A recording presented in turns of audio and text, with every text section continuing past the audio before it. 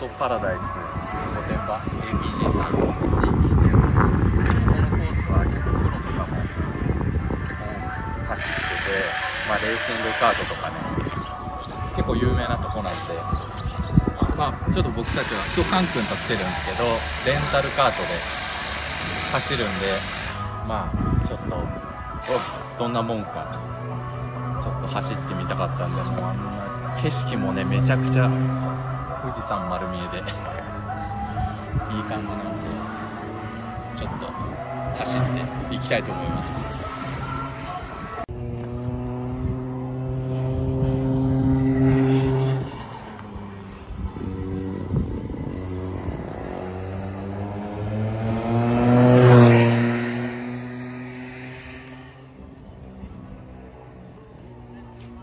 早っあれレーシングカートかな。